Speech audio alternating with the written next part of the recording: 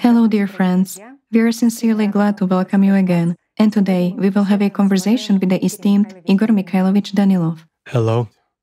Igor Mikhailovich, in the previous video we discussed the process of informing people about the Creative Society project, and we raised the issue of how volunteers, sometimes without realizing it, come across situations when they knock on closed doors of empty rooms. And you told us in each specific case why no one would actually open that door and why there is emptiness behind that door. So, our viewers very well remember the associative example which you gave while telling about a person who came to see the entire reality of what is happening in the world. As a very conscious and sensible person, he understood that it is necessary to act, it is necessary to save his own life and the lives of his near and dear ones and all people on the planet. And so he makes a decision to inform all people across the planet that there is a way out, that the way out is the creative society, and that's where there is a chance to save this world. Thus, he takes the following action. He spends his $5,000, which he saved for vacation, on reaching out to the brightest stars on the human Olympus, political celebrities, movie stars, and renowned scientists, in the hope that they will pick up this information wave and convey information about the real state of affairs to people. So he writes 5,000 letters to those celebrities, waits for a response, and suddenly realizes that the stone which he threw has fallen not into the water, but onto the asphalt, so there won't be any response. You know, a lot of our friends who are volunteers of the Creative Society project recognize themselves in this example, and they said, Yes, now we know what the wrong way to act is. But what is actually the right way? What is the alternative in this situation, in fact? How could one allocate this amount of money in order to maximize or significantly increase the efficiency of informing people? Well, those of our friends who acted this way and now understand that they acted hastily now know for sure what they should do, while for others who also think so, but haven't gained this experience yet, I can explain it. Perhaps. Mm-hmm. Last time, we said that we gave people an opportunity to make such a tactical mistake, I would say. But what does it mean that we gave people an opportunity? This point is also very important because we could have stopped people at any moment and explained that, guys, you are knocking on a closed door of an empty room. No one is going to answer you. But do you know what would remain? People would have probably listened to us and acted in a different way. But inside, they would still bear hope that this cannot be so, you know? That those people who did it before us didn't convey information properly. They recounted something in a wrong way or approached the text in a wrong way. Everything will be different for me, for sure. Of course, I actually understood. Yes, exactly. And since I understood, it means I will be able to explain to our celebrities, to our Olympians, that this is very important information. And in fact, even they are under direct threat now. Not only us, everyone will suffer. The Cerberus doesn't choose whom to eat. Right? That's exactly what would happen. well, that's how it happens. Consciousness always says that it happened to someone, of course. but it won't happen to me. It won't happen to me because I will be able to evoke a response. Yes, sure, exactly. But practice shows something else. Practice is such a stubborn thing, friends, that whether you argue or not, this is life. It's like mathematics. Again, what would be the right thing to do in almost any case? But in this case, we are talking about a volunteer who decided to sacrifice his vacation right. and spend 5000 on informing people. There are certainly lots of options. But the easiest and most acceptable one for a person would be to take that money and go on vacation as he wanted. Really, friends, who prevents you from going on vacation and telling people about the Creative Society there? No one. Believe me, it would be much more efficient than relying on those celebrities. We already told you that reaching out to them is useless and pointless. You have to understand that politicians are driven into certain conditions and almost nothing depends on them. They will start talking about the Creative Society only when there is an electoral demand, when the majority of their voters demand from them exactly to build the Creative Society. Then a politician will have no other choice he will promote the Creative Society platform. And if there are almost 100% of such people, it means they will carry it out. There is no escaping that. Celebrities of those very movies, as you said, of show business or something else. We also have to understand them. People who have climbed Olympus, thanks to their work or circumstances, it doesn't matter. They understand perfectly well that they are only temporarily on this Olympus. And as we already said, they already develop a hatred for people because they are dependent on them. Naturally, they are already becoming sociopaths in some sense. This is a natural process. Plus, they would have come and told people for a lot of money. And it seems, what does money have to do with this, right? Where is humaneness? But what kind of humaneness can a sociopath have? A simple question. None. And they understand perfectly well that their finest hour is temporary. And certainly, if they don't earn money now, or if they come to us for free, they will have to go to others for free as well, right? They did their best, let's say, and laid down their own lives when climbing this Olympus not in order to serve some humanity later on. You know, those are just beautiful words, while in fact they are detached from the world. They have their own world in which they exist in their illusions, in their values, and they are already far from ours. Let's take scientists. They are also stars with world names and the like. And their names are first in the books they publish. But in reality, these books are written by those whose names are the last in these books.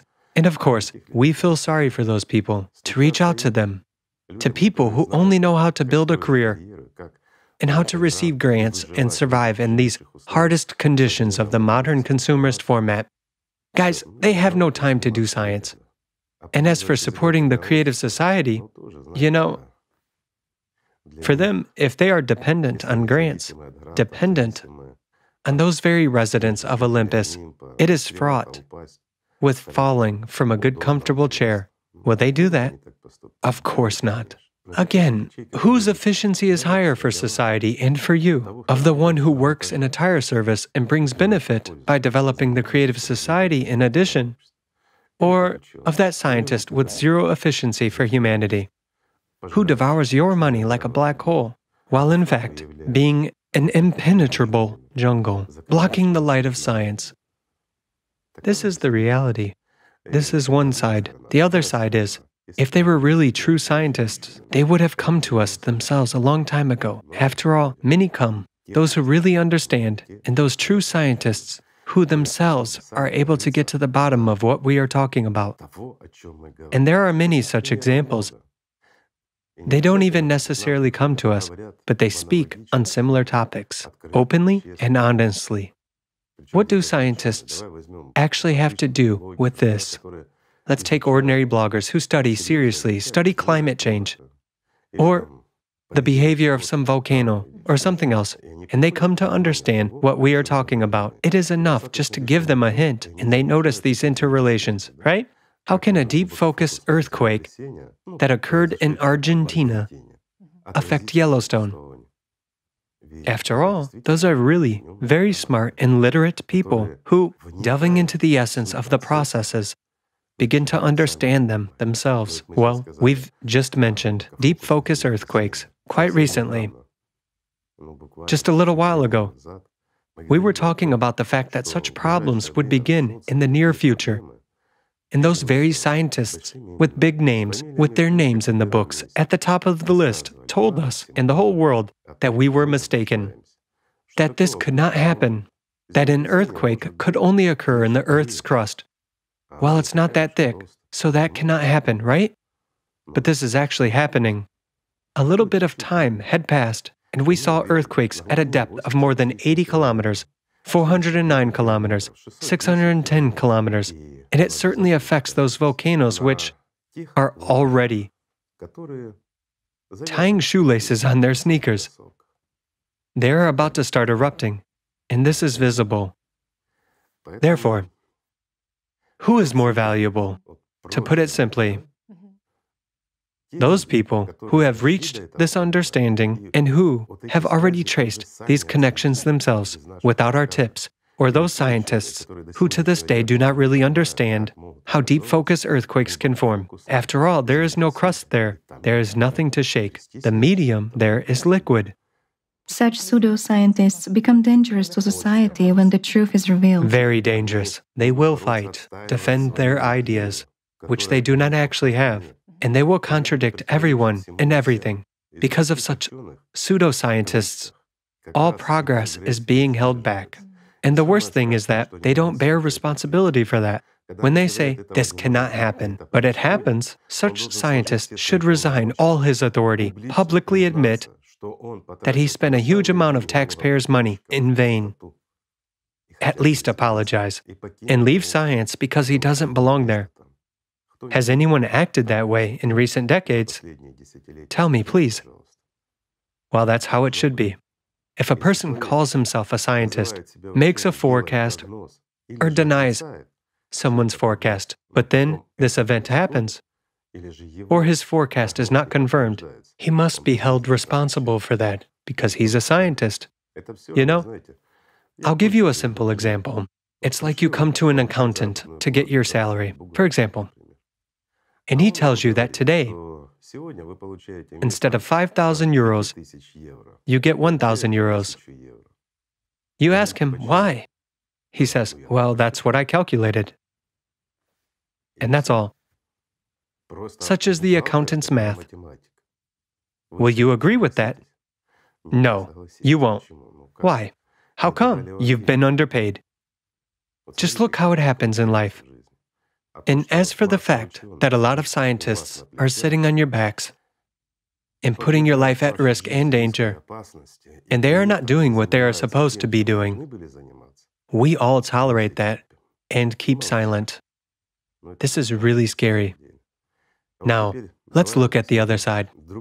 Let's go back to our volunteer who decided to spend his well earned $5,000 on vacation and then changed his mind and decided to spend it on the Creative Society, on humanity, on saving himself, his family, his loved ones, all of humanity in our planet. We have already said he could go on vacation and inform people.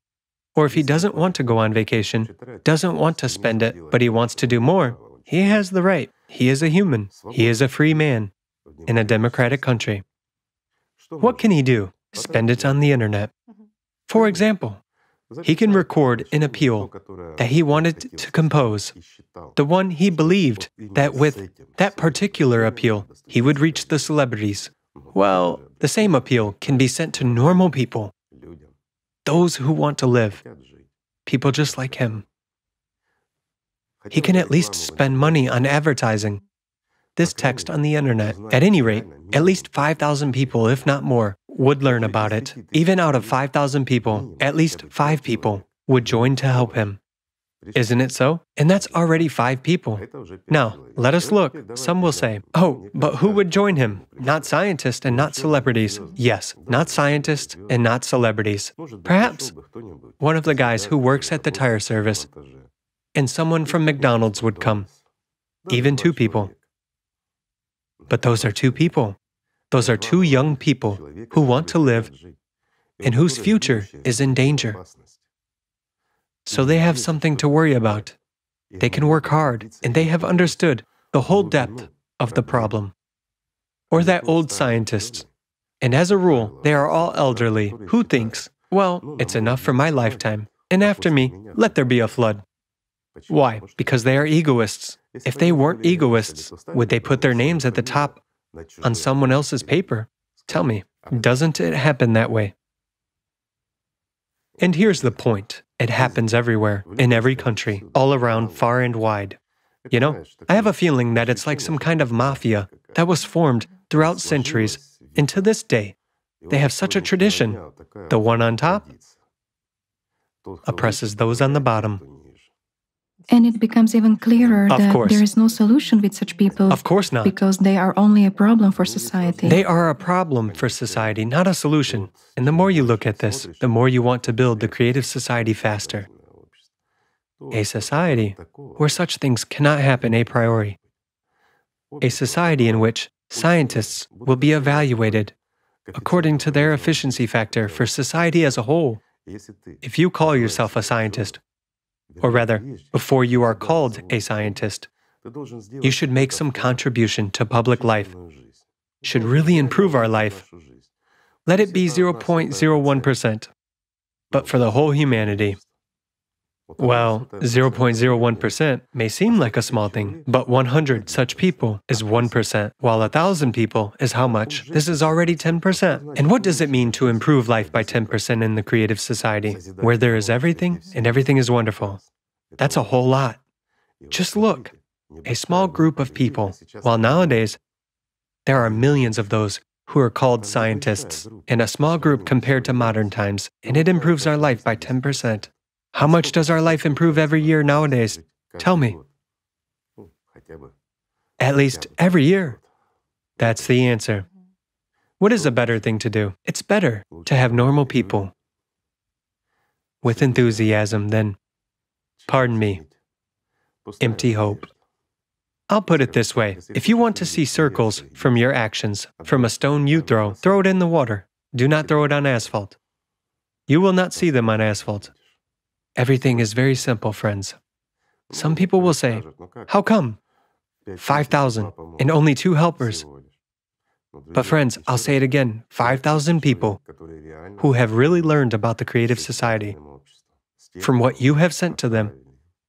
Is that a bad thing? Yes, they are inert. They are inactive. Only two active helpers came, as we said, from a tire service and from McDonald's while the rest stayed at home on the couch.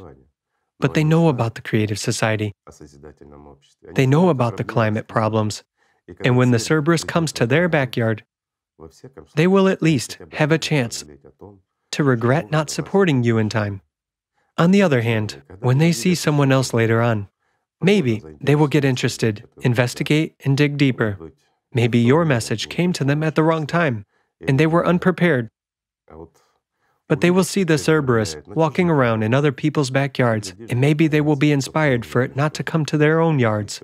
That means more helpers, right? Yes. One should invest money in people in disseminating right. information in this way. What's the point in investing in emptiness?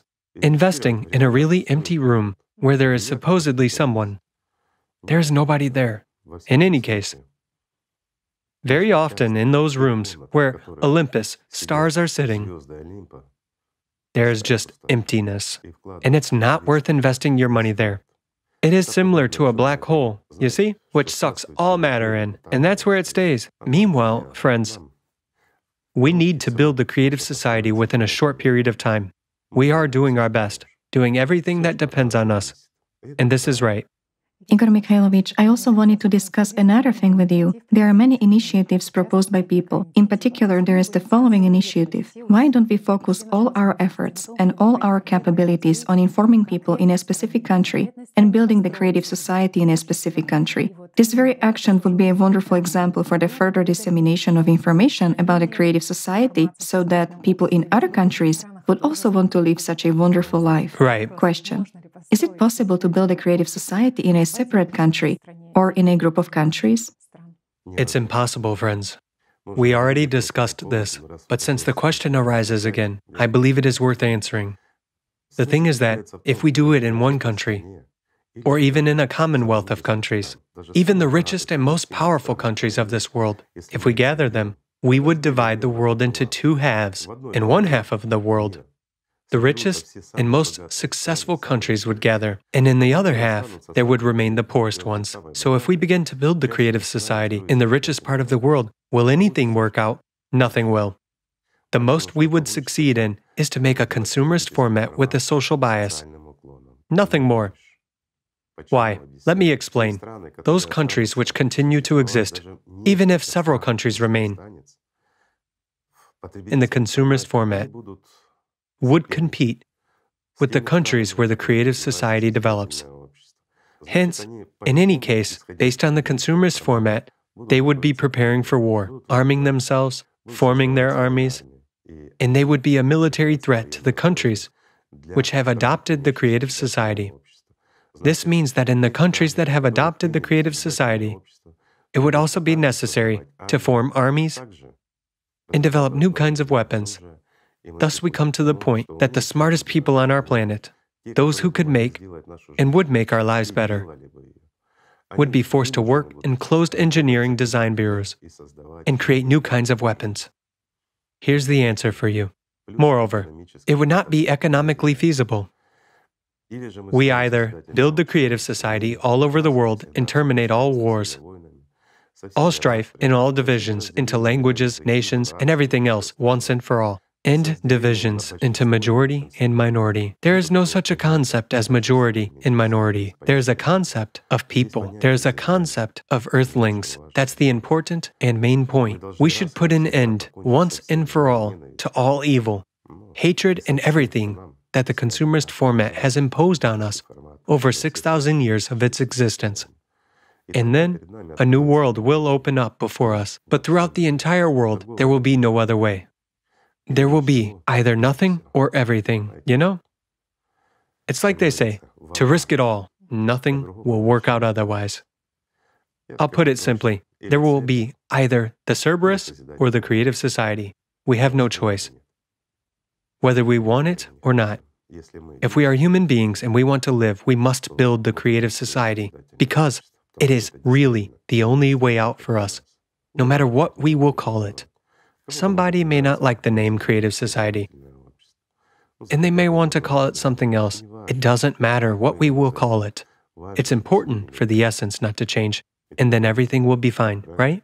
Igor Mikhailovich, many people already understand and have heard that the Creative Society is a society of equal people and equal opportunities, and they're afraid. Will that very private property be abolished in the Creative Society, for instance? Or will private property be preserved in the Creative Society? Let's just say the communist idea, where there is no private property, is unacceptable in this case. There definitely must be private property. A private house, a private car, if you own a plot of land, I'm figuratively saying, and you want to grow tomatoes on it, when you have a replicator at home, it's your personal business. Grow them. It's your private property. It's a different matter that it will not be possible to privately own what nature gives us. It's inappropriate to privately own the air, the land, that which is in the ground, or the ocean. How? It's all ours. Let's take water. After all, we don't produce it, although a replicator will produce everything.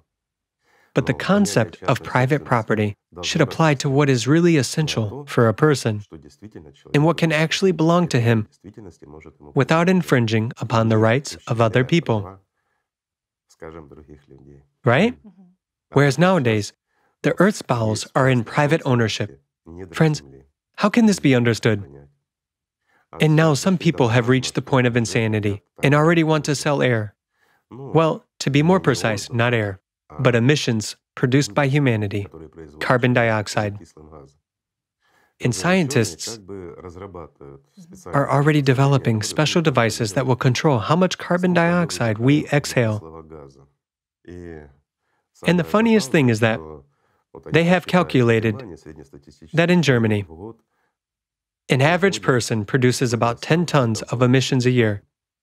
So they suggest that 3 tons would be for free and a person has to buy the rest. Buy it from those who will still have it. Who do not breathe, yes, right. exactly. Those who breathe less. less than 3 tons. Individual restriction of CO2. I'll put it this way yogis will get rich, mm-hmm. while sports enthusiasts should prepare their wallets. Tell me, is this not insanity? You see, we have a lot of taxes on all and everything.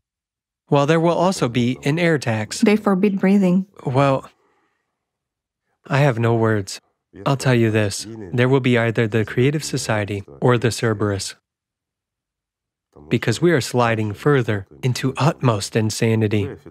In Europe, they have already officially allowed the use of house crickets, arthropods, mm-hmm. pardon me, and bugs as a food additive. Well, those are arthropods that are ground into flour and added to bread, to pizza, to soups, and somewhere else.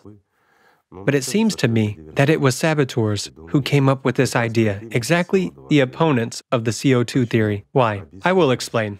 As a matter of fact, flour, made of chitin containing insects, so to say, when getting into a human body will contribute to gas generation. And thus, CO2 will increase very intensively. So here, it's not understandable. Are they fighting to reduce CO2 or are they fighting hunger instead of raising cows that will produce much less CO2 than people who consume such flour? As for me, I haven't understood this joke. This is sabotage. This is some kind of sabotage. Those are probably saboteurs. In any case, I don't really want to eat all sorts of grasshoppers. This way, we will end up eating frogs. Although some people do eat frogs. They say it's delicious. Well, to each their own. Anyway, somehow you feel like a frog too when eating insects. Igor Mikhailovich, you know, a lot of people around the world see the absurdity of this consumer society, and they certainly do not want to tolerate it internally. So they do everything possible to draw attention to every single problem in order to get the public to focus on addressing that local problem. Divide and conquer. That's how Satan acts. He creates a problem for everyone and diverts attention to it. And a lot of smart, talented people are fighting for the rights of minorities, for the rights of, I don't know, insects, not to be eaten, or for some other rights. Meanwhile, these are all symptoms of the same disease. This whole human stupidity is insurmountable under a consumerist format. Yes, we can succeed in defending the rights of minorities, but then the rights of animals will immediately be trampled. We can succeed in defending the rights of animals, but then the rights of children will be attacked. It's a never ending story. The only solution is the creative society. That's where everyone's rights have to be taken into account. Do you know why? Because the laws and rights will be written by us, friends. By us, the people not those celestials who descended from us, yet climbed up to their Olympus by stepping on our heads and our lives. And from there, they send to us, us, the biomass, who, like frogs, have to eat all kinds of bugs and crickets. They send to us their laws written for us, for the herd. If we don't want to remain pack animals, we must become humans, and we must build the creative society. We have no other option, friends. Or we can remain sheep, waiting to be skinned. It is also an option, but it's unacceptable. So, friends, let's just remain humans. Let's say, be worthy of the title of a human being, this is important, and everything will be fine for us, right? Therefore, let's just love each other. Thank you. Thank you so much, Igor Mikhailovich, for your support and for everything. Thank you, friends. Peace be with you.